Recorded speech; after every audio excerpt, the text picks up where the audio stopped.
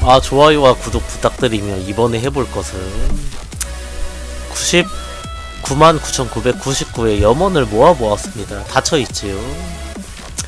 이 두 개를 한번 해가지고 변화량이 0.1mm라도 있는지 한번 보도록 하겠습니다.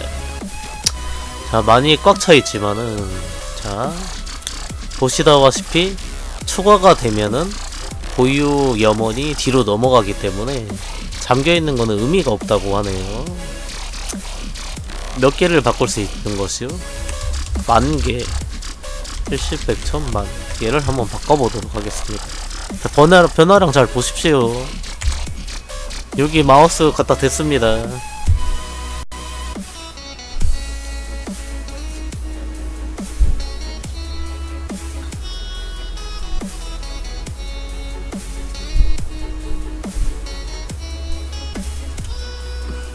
만 천개를 받았지요.